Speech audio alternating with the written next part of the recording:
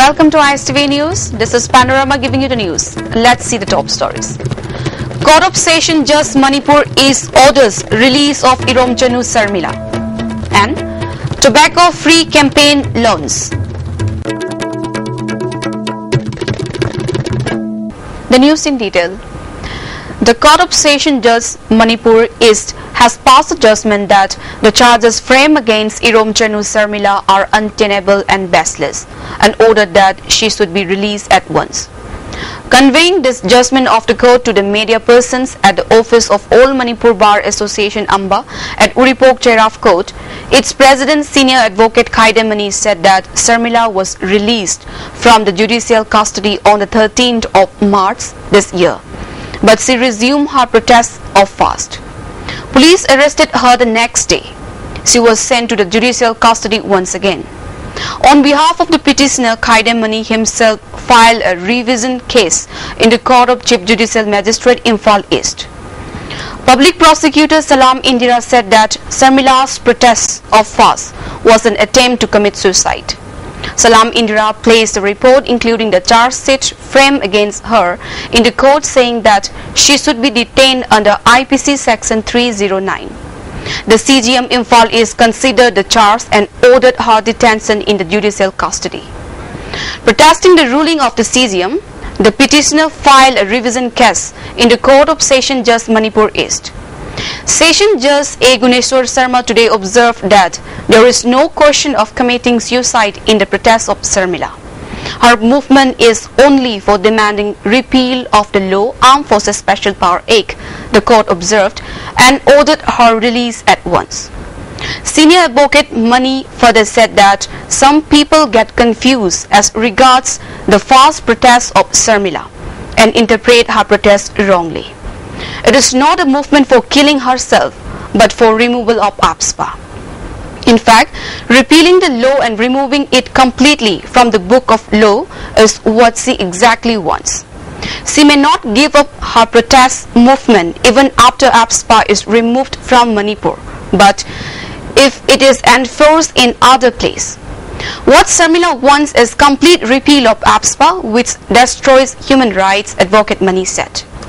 ꯀꯣꯔꯠꯇ ꯐꯪꯉꯤꯕ ꯂꯩꯔꯤꯕ ꯔꯦꯀꯣꯔꯠꯇ ꯂꯩꯔꯤꯕ ꯃꯦꯇꯔꯤꯌꯦꯜꯁꯤꯡ ꯑꯗꯨꯒ ꯄꯕ꯭ꯂꯤꯛ ꯄ꯭ꯔꯣꯁꯤꯀ꯭ꯌꯨꯁꯟꯅ ꯍꯥꯏꯔꯤꯕꯁꯤꯡ ꯑꯗꯨꯒ ꯃꯈꯥꯒꯤ ꯀꯣꯔꯠꯅ ꯇꯥꯔꯤꯕ ꯑꯣꯔꯗꯔꯁꯦ ꯃꯁꯤ ꯀꯨꯞꯅ ꯅꯩꯅꯔꯕ ꯀꯥꯟꯗ ꯄꯦꯇꯤꯁꯅꯔꯒꯤ ꯎꯀꯤꯜ ꯑꯩꯈꯣꯏꯅ ꯍꯥꯏꯕꯁꯨ ꯀꯨꯞꯅ ꯇꯥꯔꯕ ꯃꯇꯨꯡꯗ ꯍꯥꯏꯔꯤꯕ three zero nine attempt to commit suicide ꯍꯥꯏꯕ ꯁꯦꯛꯁꯟ ꯑꯁꯦ ꯃꯁꯤꯒꯤ ꯗ ꯆꯥꯔꯖ ꯁꯦꯝꯅꯤꯡꯉꯥꯏ ꯂꯩꯇ꯭ꯔꯦ ꯃꯥ ꯆꯥꯔꯖ ꯁꯦꯝꯕ ꯆꯨꯝꯗꯦ ꯑꯗꯨꯅ makagi court na tariba order to judicial master in Pali isna Jun Marida सम्मेलागे मतलब तो सा सेमगनी 309 एलपीसी मकादा हाई बदो सेट साइट तोरे अदो कथले अदुगा जेएलएसपी दा ओपीएससी था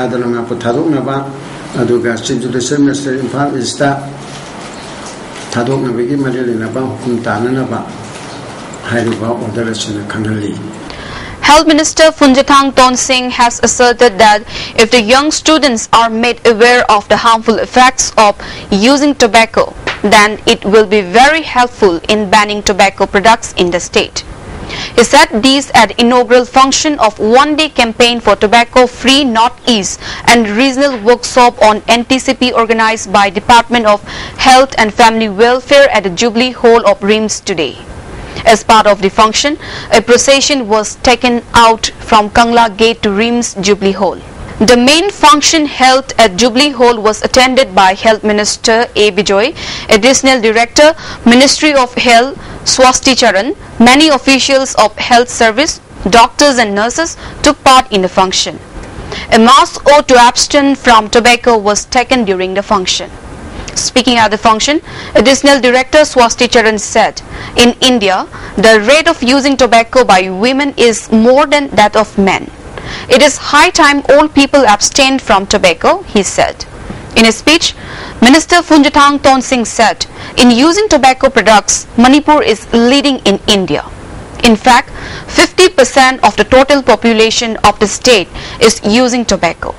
Tobacco is one of the most dangerous things that has been very injurious to the mankind, he opined.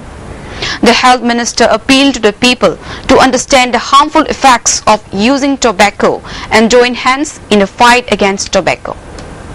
education institution sing asu school da college gi through da school college da through da masi gi tobacco se toroi do bani habe se school student sing asu tapi ga bani college da su tapi ga bani अदो खाइनी सु सिकुदा पूब जा रो सिर्फ़ पूब जा रो ज़्यादा पूब जा रो देखो या अते ते सिगुम्बा ये मरी ले ना सिंग सिदी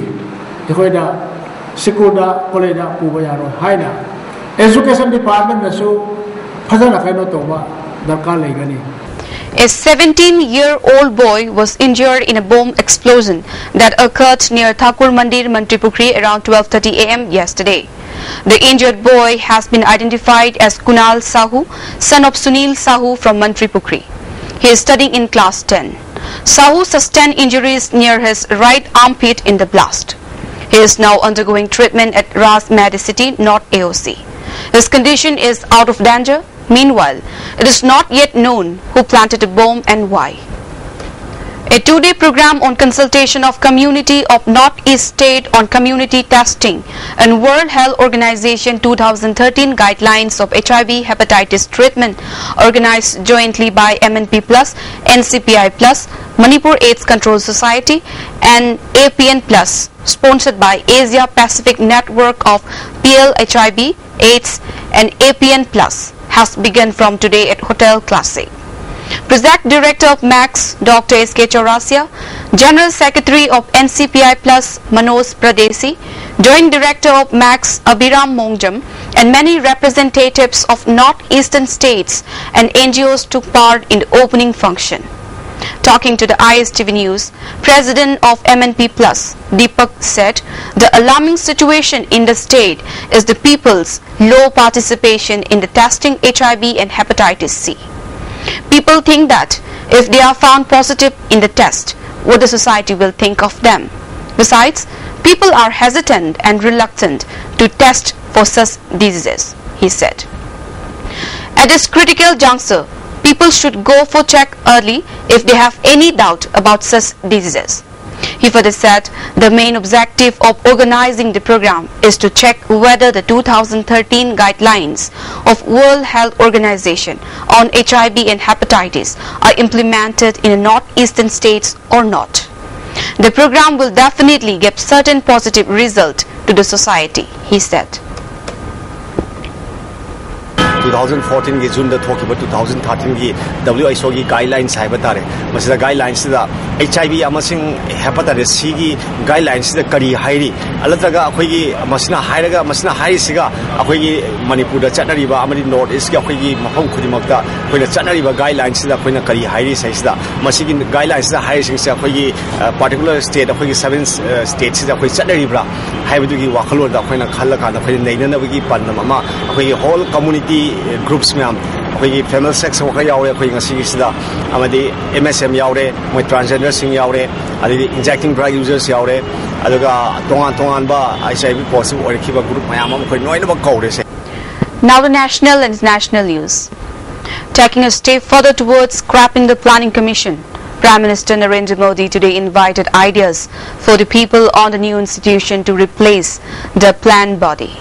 The government also announced creation of a special open forum on the website mygov.nic.in for suggestions on the new institution. We envision the proposed institution as one that caters to the aspirations of 21st century India and strengthens participation of the states. A special open forum has been created on MyGov for suggestions on the new institution. Let ideas flow, Modi tweeted. Modi had announced during his Independence Day speech that the Soviet-style planning commission will be scrapped soon. There is more bad news for cigarette smokers as there could soon be an age limit for smokers. Three months into being in power, the Narendra Modi government is working on curbing the consumption of tobacco products. After raising taxes on cigarettes and calling for a countrywide ban on sale of tobacco products. The center is considering banning branding on cigarette packets, raising the age limit on tobacco consumption to 25 years from the present 18 years and substantively increasing penalties for smoking in public. Health Minister Harsh had constituted a committee of experts last month to suggest changes to the Cigarettes and Other Tobacco Products Act 2003. The report is expected by the end of this month. The center has instructed the neutral forces deployed at Assam-Nagaland border in Golaghat district of Assam to take steps to ensure peace so that villagers can return home from relief camps. Around 7,500 people have taken shelter at relief camps at Uriam Ghat and Shorupatar following the killing and arson by Naga militants. The Assam government had expressed displeasure on late inaction of the CRPF to contain the situation. Meanwhile, police cleared the road blockade at Rangajan area in Golaghat district early this morning. Several organizations were holding blockade of roads, preventing movement of vehicles in protest of the killing of innocent people at Uriam. Police also detained several protesters.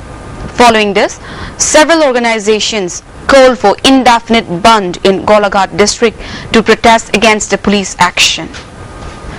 Hyderabad and all towns in Telangana went totally deserted today, with the state government declaring a holiday to enable people to remain at home and participate in the household survey. The usually busy roads in Hyderabad were empty as public transport and even auto rickshaws went off the road. Government offices, educational institutions, shops, petrol bunks, hotels, cinema halls and all other business establishments were shut down as the government warned the private institutions of action for violating holiday orders. It exempted only emergency services. In Uttar Pradesh, the death toll in flood-related incidents has risen to 49 in the state. Thousands of persons have been affected by the crisis triggered by overflowing rivers even as monsoon rainfall decline in the northeastern region and Nepal. In Bihar, the flood situation in several districts remains grim, though many rivers have started receding. According to disaster management officials, nine casualties have been reported till now.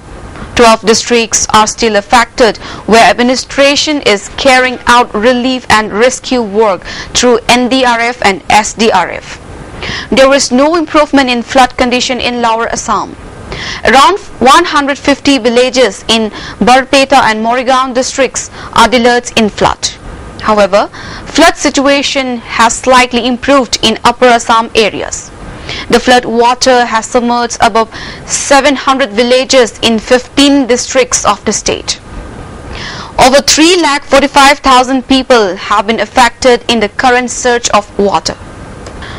The United States has said it was unfortunate that Indo-Pakistan Foreign Secretary level talks have fallen through and asks both countries to take steps to improve bilateral ties irrespective of what happened. It is unfortunate that planned talks between India and Pakistan have fallen through, US State Department Deputy Spokesperson Marie Harf said. We continue to support efforts by India and Pakistan to improve all aspects of their bilateral relations. And that is a position we will continue making clear to both parties here, she said in response to a question. Well, that's all we have for now. But before we wind up, let's have a quick look at the top stories once more. Court of Judge Manipur East orders release of Irom Chanu Sarmila and tobacco-free campaign loans. Thanks for watching the news and for more updates, please stay tuned.